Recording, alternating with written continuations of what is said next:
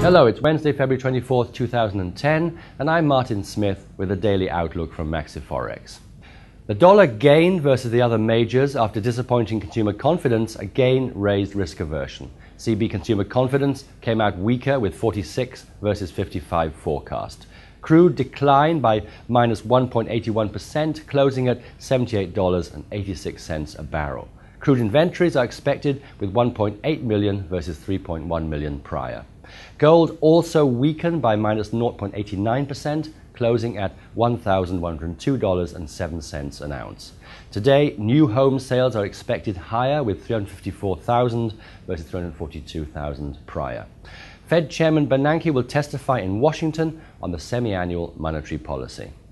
The euro dropped after German IFO business climate declined for the first time in 11 months coming out at 95.2 versus 96.2 expected.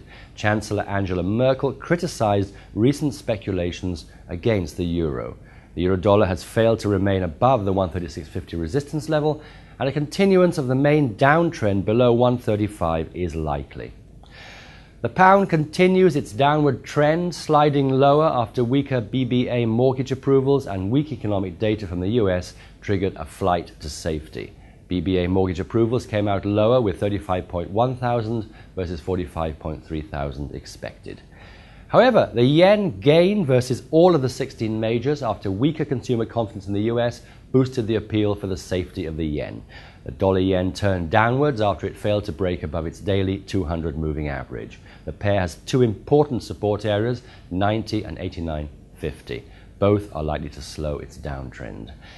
The Canadian dollar dropped versus the American dollar as stock markets declined and higher yielding assets demanded lo- demand lowered on slower economic recovery.